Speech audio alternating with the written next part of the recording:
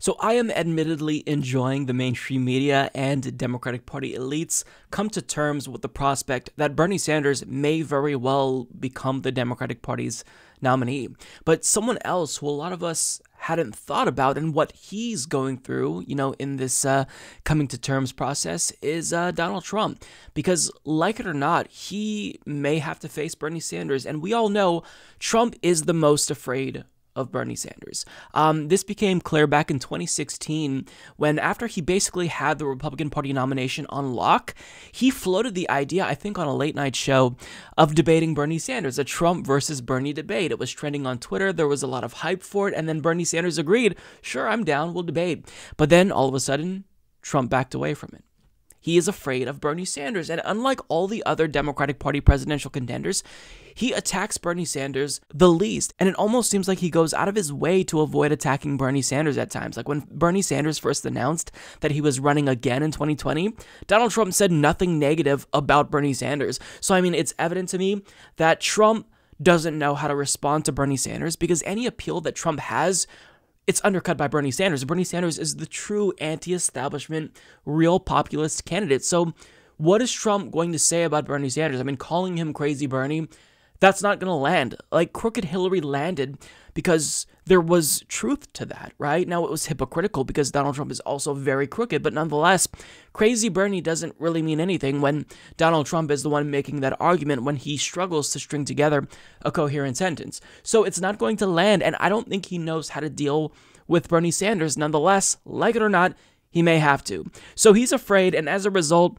he has sent out emails about Bernie Sanders two days in a row attacking him. And I love this because it offers us a glimpse into the types of attacks that we might see during the general if we actually do get a Trump versus Bernie situation. And uh, I'll just say this. I feel a lot more confident about Bernie's chances after seeing what Trump is using to attack him on. Um, it's just, it's really, really bad. Um, so in the first email he sent out, it reads Dangerous. Bernie Sanders can't be trusted to defend American lives. Sanders opposed taking top terrorist Soleimani off the battlefield while repeating Iranian and Russian propaganda. So this is a horrible strategy for a number of reasons. First of all, he's literally invoking anti Russian hysteria to attack Bernie Sanders. Now, on top of that, um, he's citing something that he did, which only has a plurality of support from Americans. 43 to 47%, I believe, approve of the killing of Soleimani, which is way too high, mind you. But Bernie Sanders can easily take him on here because he can show videos of Donald Trump saying he was anti interventionist in 2016 and contrast that with what he's doing now. Like, if you truly want to go about this by being the stronger candidate, the defense candidate, when you won because you got a lot of people to believe that you were less hawkish than Hillary Clinton, like Bernie's gonna mop the floor with you, but that's not the only attack. So for the second email, he says, Fact Bernie Sanders is a wealthy, fossil fuel guzzling millionaire just like the wealthy Hollywood elite, Bernie Sanders lectures Americans how to live their lives while doing the exact opposite. So let me put this into perspective for you. Donald Trump, a billionaire, is attacking Bernie Sanders for being a millionaire and is claiming that he's elitist. Like, I don't think this is going to play as well as Trump believes it will in a general election. If you put, you know, Donald Trump and Bernie Sanders up side by side. I mean, that juxtaposition, and you had to ask people, who do you believe is truly, you know, anti elitist? Nine times out of ten, they're going to say it's Bernie Sanders. Um, so this is not going to land, but I want to go a little bit further into this email and just read like a paragraph to see the route that he's taking when it comes to his Bernie is an elitist argument. Quote, Bernie Sanders is lecturing the American people that they need to pay more in taxes, surrender their private health insurance plans, and accept job losses in order to implement his extreme left wing agenda. But he's just another Hollywood style hypocrite who demands working class Americans make sacrifices. And we'll stop there because, I mean, this is just, it's. it's laughable. So, I mean, when it comes to Bernie Sanders facilitating job losses, he's supporting a policy that is literally titled Federal Jobs Guarantee federal jobs guarantee. You're not going to be able to easily argue against that. And Donald Trump is effectively taking a pro private insurance stance here.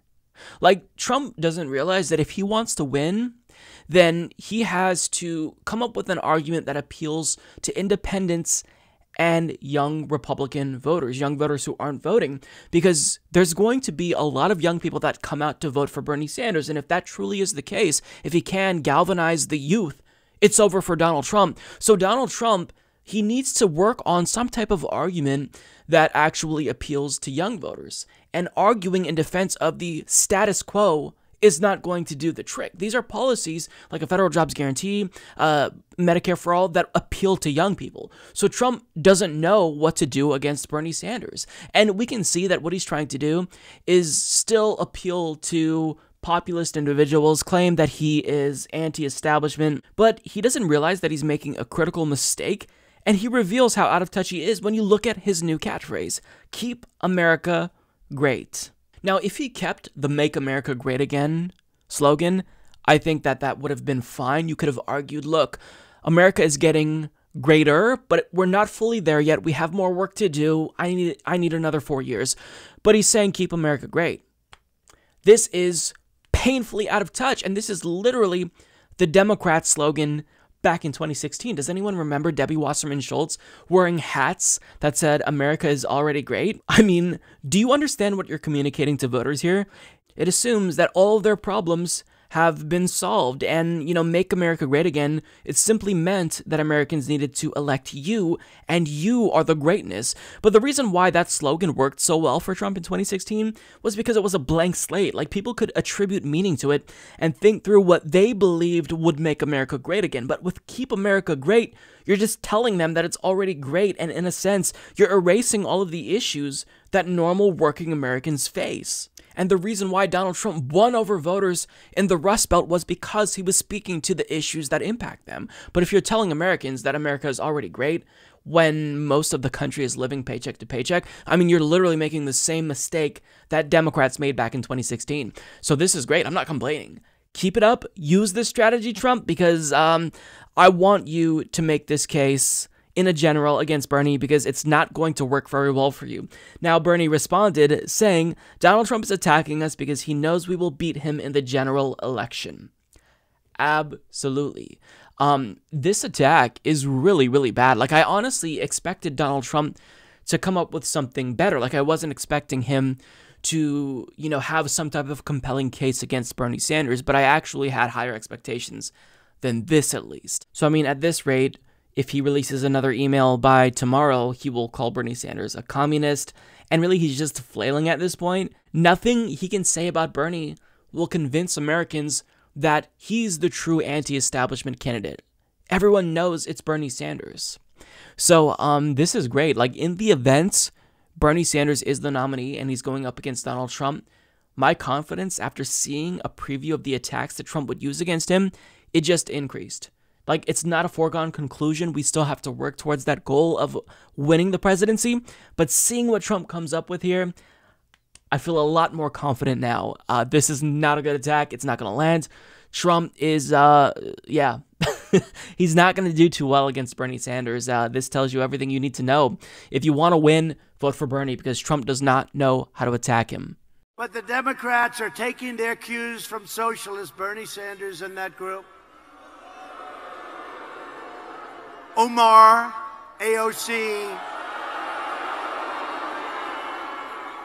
Talib, isn't she a nice woman? Tlaib. Tlaib. Why? What a group. But they're the leaders of the party. They're really, in my opinion, the leaders. That's what happened. That's how they got into this impeachment hoax. The leaders of the party are this AOC, uh, Tlaib, and Omar. And Pelosi meets him and she shakes and quivers and she's very scared. Ha! Got him! You could support the Humanist Report at patreon.com slash humanist report. But trust me, I'd have way more supporters on Patreon if that was my podcast. Sad.